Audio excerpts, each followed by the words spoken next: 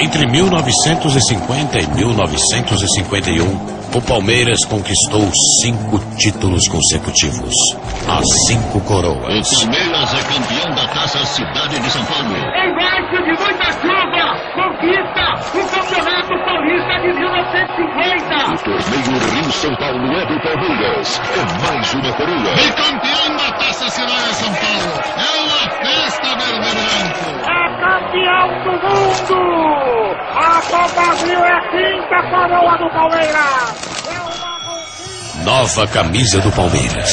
Inspirada nas cinco coroas para todo palmeirense carregar no peito o orgulho por tantas glórias.